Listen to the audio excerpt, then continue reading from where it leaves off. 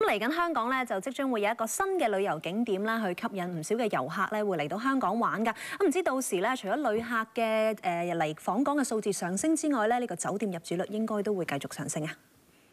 香港又有新景点啦，坐落于全球第四高，又系全港最高建筑物嘅观景台喺星期日就会正式对外开放啦。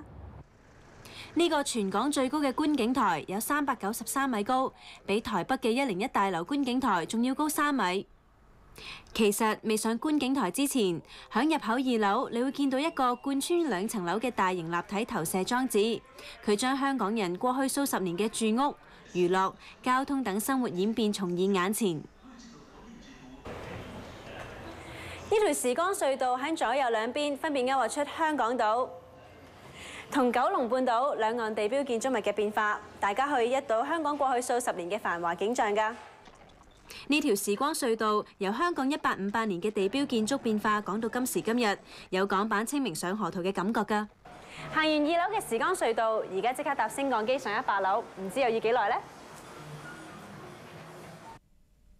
唔好以为由二楼上到去一百楼可能要好耐，其实只需要六十秒就到啦。出咗升降机，再行前少少，你会发现一个地下发光模型，佢展示咗一啲我哋熟悉嘅香港地标位置。落足眼力，你可能会揾到自己响边噶。